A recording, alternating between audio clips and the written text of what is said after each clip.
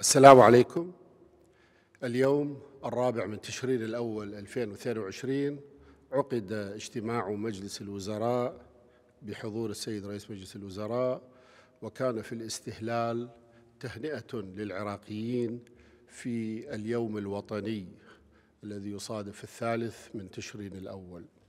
هذا اليوم عملت عليه هذه الحكومة في لجنة خاصة واستضافت فيه كثير من الباحثين والمؤرخين للوصول إلى تحديد هذا اليوم وإلى صنعه قرارا في الحكومة وترحيله إلى مجلس النواب.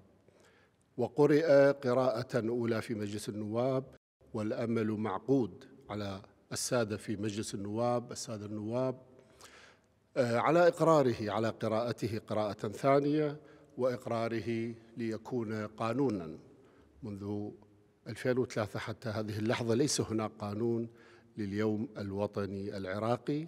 الحكومة استكملت هذا الملف ورحلته منذ أزيد من سنة إلى مجلس النواب والآن إن شاء الله في الأيام المقبلة يحظى بأهمية لدى المجلس الموقر لكي يكون هناك قانون للعراقيين يقر يومهم الوطني. وكان هناك أيضا حديث للسيد رئيس مجلس الوزراء عن آمال العراقيين في أن تقوم القوى السياسية بواجبها إزاءهم من أجل تشكيل الحكومة الجديدة. وما زلنا ننتظر هذا الحدث وإن شاء الله الكتل السياسية التي تعمل بجد وإخلاص تتوصل إلى تفاهمات ضمن أعمالها في الاجتماعات وفي التفاوضات. آه هذا ما جاء في ديباجة المجلس وكان هناك نقاش واستضافة للسيد محافظ البنك المركزي لمناقشة وضع المنظمات غير الحكومية والرقابة عليها.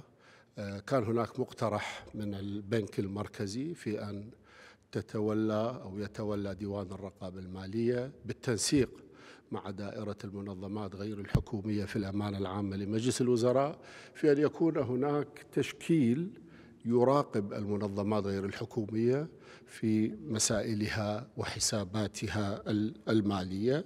وصوت مجلس الوزراء على هذا القرار في أن يتولى ديوان الرقابة المالية هذا الموضوع بالتنسيق مع دائرة المنظمات غير الحكومية في الأمانة العامة لمجلس الوزراء وهذه خطوة متقدمة لأول مرة تحدث في هذه الحكومة حقيقة في أن تتولى أو يتولى تشكيل حكومي الرقابة على المنظمات غير الحكومية. أيضا كان هناك مناقشة ونحن في أبواب آه، تفتتح للطلبة في الجامعات. كان هناك نقاش عن خطة القبول. هذه الحكومة شكلت لجنة خاصة لمناقشة خطة القبول والتخصصات وحاجة العراق لهذه التخصصات أو تلك وخلصت اللجنة إلى توصيات. اليوم عرضت هذه التوصيات على مجلس الوزراء ونوقشت وكان هناك اقتراح في أن تعرض على هيئة الرأي في وزارة التعليم العالي والبحث العلمي لكي تنضج أكثر وتقدم إلى مجلس الوزراء مرة أخرى ولأن القانون يفرض في أن أن يقوم أو أن تقوم هيئة الرأي بدراسة خطة القبول وهي التي تقدم وتقر هذه التوصيات أولا ثم ترحل إلى مجلس الوزراء.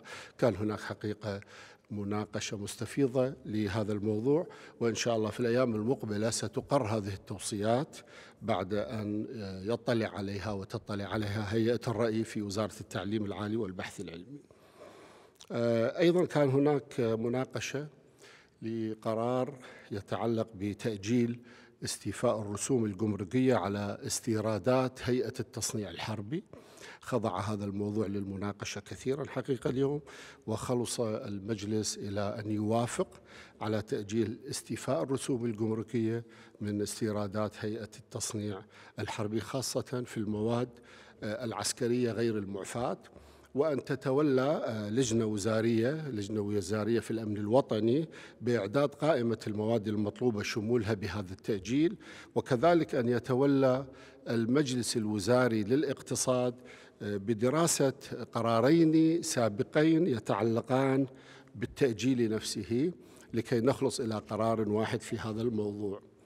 أخيرا كان هناك موضوع لوزارة الخارجية يتعلق بفتح قنصلية لدولة قطر في أربيل وقد صوت مجلس الوزراء هذا اليوم على فتح هذه القنصلية في أربيل.